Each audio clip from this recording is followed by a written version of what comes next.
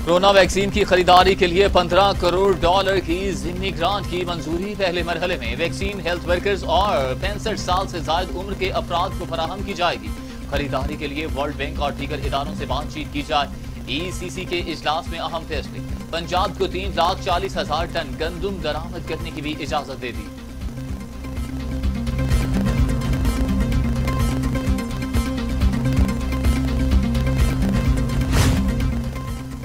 पिशावर की ज़िले इंतजामिया का पीडीएम को जलसे की इजाज़त देने से इनकार। कोरोना वबा में शिद्दत आने के सबब इजाज़त नहीं दी जा सकती।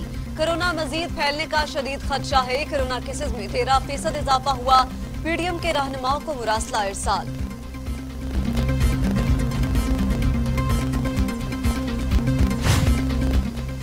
कुछ भी हो जलसा तो ज़रूर होगा, दमादम मस कैलेंडर भी होगा। ऑपोजिशन रहनुमा भी डट गए। पीपल्स पार्टी के मुताबिक ज़िले इंतजामिया पी टी आई की बी टीम का किरदार अदा कर रही है। खैबर पख्तूनख्वा की अवाम और जियारे तैयारी कर लें।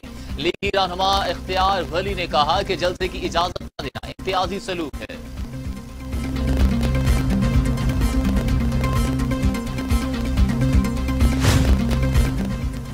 कराची के चार इस्लामी स्मार्ट लॉकडाउन, दो में माइक्रो स्मार्ट लॉकडाउन का फैसला।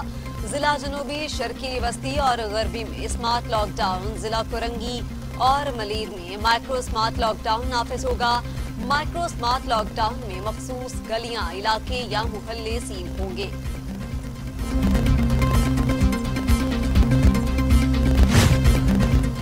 पंजाब में शादी हॉल्स के अंदर तकरीबात पर पाबंदी, आयद शादी ब्याह और दीगर तकरीबात की इजाज़त सिर्फ़ खुली जगहों पर होगी। तकरीबात में ज़्यादा से ज़्यादा 300 अफराद की शिरकत की इजाज़त होगी। पाबंदी 31 जनवरी तक लागू रहेगी। नोटिफिकेशन जारी।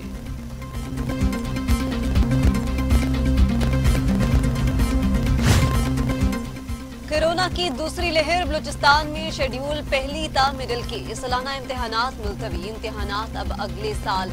10 मार्च को होंगे।